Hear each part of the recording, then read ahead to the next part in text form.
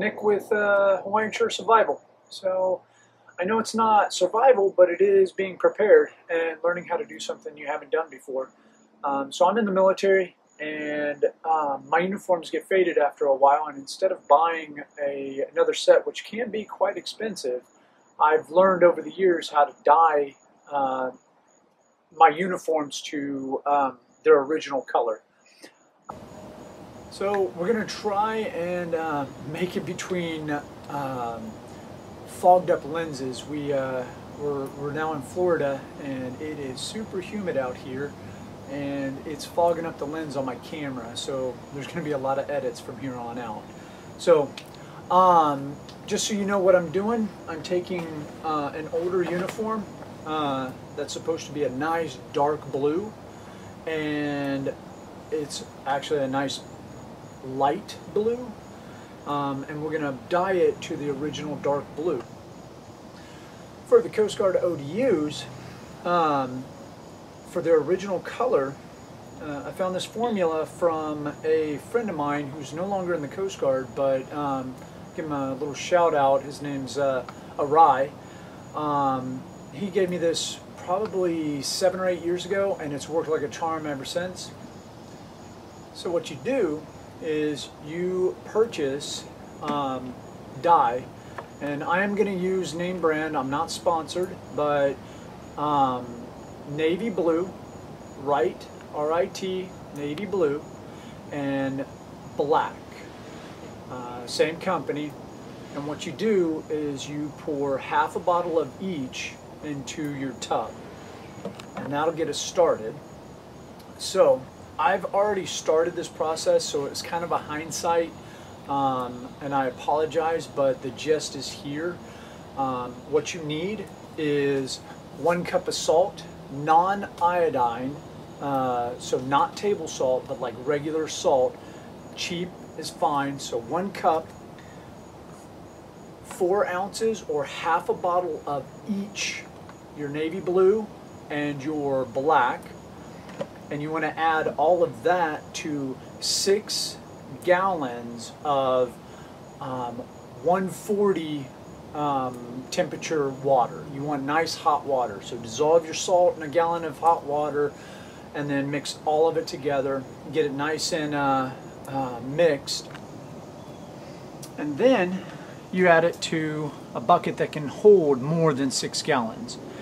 Um, I like dyeing stuff, so I threw in an old t-shirt, some face mask because we're still in pandemic conditions, and uh, I've got an old rucksack from the army that was brown, uh, uh, or desert cami. Um, I'm dyeing that blue so I can wear it with my uniform. Uh, an old CamelBak. Uh, there you go. So basically, submerge your uniform. And as you can see, this one is super faded. And you can really tell by the um, side straps. Those used to be black. And when you're done with this, they will be dark blue. So, from there, you submerge. Stick, tongs, anything you want. And so if you can't remember everything, just read the back of the, the Rit dye. Um, it has all of this on there. The only thing I'm giving you is the ratios for the actual dye. So you need half black and half navy blue. But the directions for this process are all on the back of your, your dye bottle. So basically, you submerge and you have to keep prodding and getting out the air bubbles for 30 minutes, at least 30 minutes. The longer you leave it, the darker it gets. Um, I have found 30 minutes is perfect. Um, but 30 minutes is the charm. But if you uh, if you go a little over, believe me, you're it's not going to be that big of a deal. Um, and for items that are not cotton, like a CamelBak or a rucksack, you need to leave those in there for an hour at least um, to get some sort of a dye to them. I actually left the rucksack in there the last time for overnight because I couldn't do anything with the water the last place I was uh, at until it was cool and I could take it and dispose of it. Um, so I left it in there for a day and it came out wonderful. So I'm probably going to do the same thing for the CamelBak case and the rucksack. Um, but as far as the uniform, um, 30 minutes. 30 minutes, maybe 45. Um, and then we're going to move over to the second process. So after you have um, placed them in your solution for at least 30 minutes, you want to pull them out and let them drip into your container, um, letting them drip as much as you can, and then rinse. So the amount of dye that comes off from the rinsing isn't that big of a deal. So you don't really have to worry about um, killing your grass or anything like that. But still try to keep things clean. Um, once you have let them rinse a bit,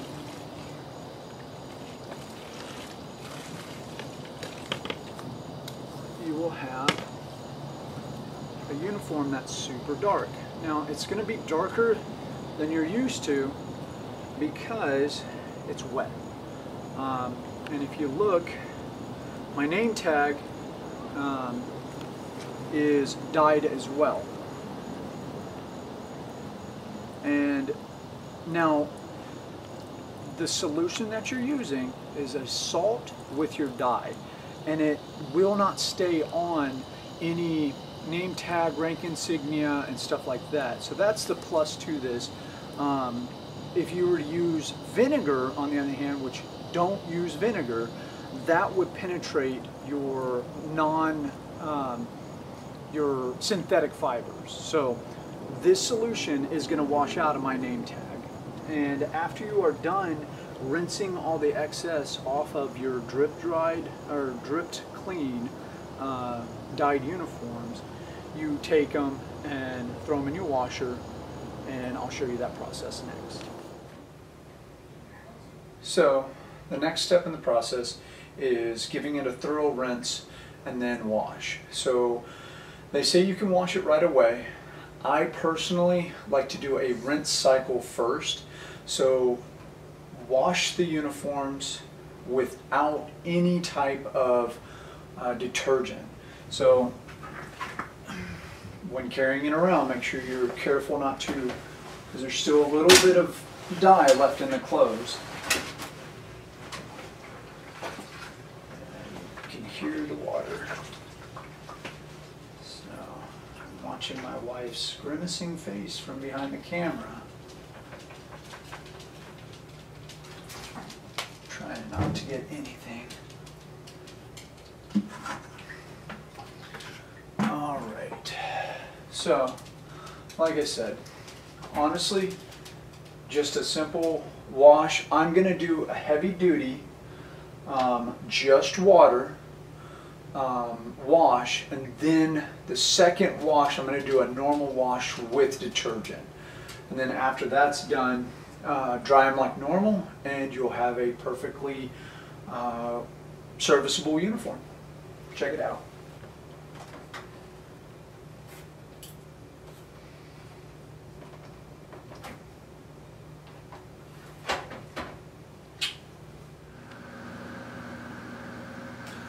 So, different day, different shirt. Um, I made a mistake on the last, uh, or on my um, uniforms, and I'm going to teach you what my mistake was. I fixed it, and I had to re-dye. So, if you do this, make sure that you do not wash your uniforms in hot water, especially that first wash, because you're using hot water to get the dye to penetrate the threads. When you use hot water, it releases the dye. So I pulled them out of the dryer and I'm like, these didn't take any dye. I quickly threw everything back together. Um, a new, same clothes, uh, new batch of dye, so I used the other half of my bottles and washed them on cold water, and they turned out great. But I'll, I'll tell you again at the end of the, the video. So here is a uniform that I have been wearing um, for a few days. And if you look, the best place to see the fade on the top is around the pocket area. And you can see like this uh, tape is a little bit darker, this one's a little bit lighter, and then the uniform's actually a little bit darker than uh, the Coast Guard uh, emblem or uniform tag. Um, another place is the rank insignia. The, the insignia will fade before the uniform fades. Um, the sleeves in the mid arm, mine are rolled, so I'm not going to pull them because I hate rolling sleeves. But in the mid arm, they tend to fade a little bit faster than the rest, and of course, the back um, fades a little bit faster than uh, other places. Um, on the on the pants, you can see a lot of the fading on the um, sizing straps on the side. Um, these will start turning almost white, uh, light gray to white. They're supposed to be like dark black. Um, the other place is around the cargo pockets. You'll see that the cargo pocket starts fading um, in this area. Um, and the reason I'm showing you this is because this one I this is my safe uniform. I didn't dye this one in case something went wrong with the other uniforms that I did dye. Um, so this is a good before, and that's going to be a good after. So there's a good place where the uh, the dyeing, uh, or I mean the uh, fading happens before anywhere else. And of course the the knees and thigh area fade more than uh, the rest of the uniform.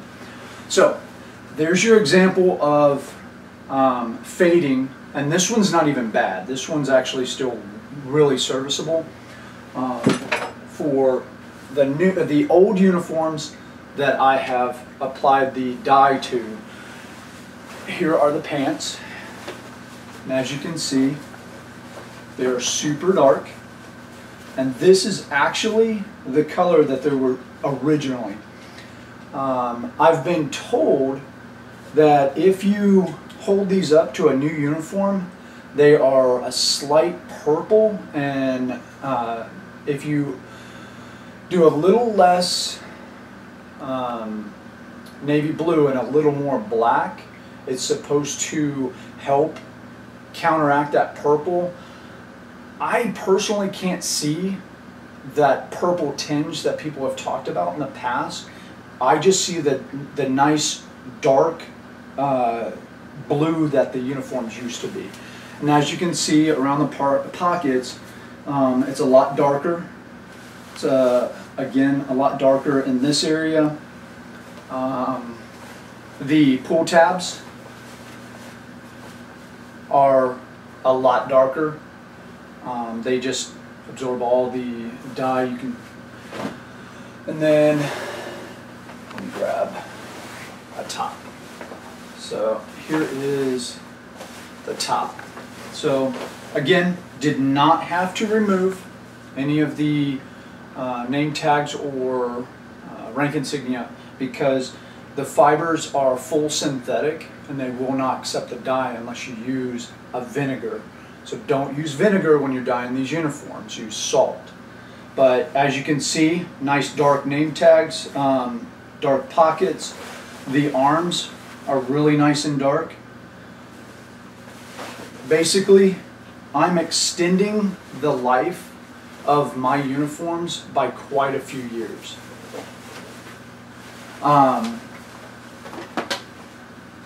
so, so to compare side by side, here is the undyed uniform and the dyed uniform.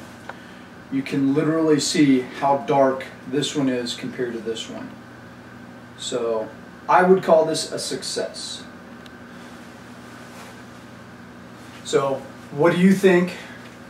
Um, like I said, it is a uh, a little bit being prepared, a little less survival, but a little more being prepared, um, which is all about the channel. Um, the formula again is and process is um, half a or four ounces of navy blue, four ounces of black, one cup of salt, six gallons of hot water. Um, hot water being out of your hot water tank, 140-ish degrees. Um, leave for uh, mix all together. Drop uniforms, two to three sets, no more. Um, leave them in there for 30 to one hour, 30 minutes to an hour. Remove, um, rinse, throw them or drip dry, and then throw them in a cold water wash. After that, you are prepared to wear them. Um, I hope you enjoyed the video. Uh, I hope this gives uh, people some confidence to go and try it themselves. Um, I guess that's it. So if you liked the video, please like it. Subscribe to the channel because I would appreciate that and it helps out. And post all your comments down below and ring the bell for notifications in the future. See you guys later.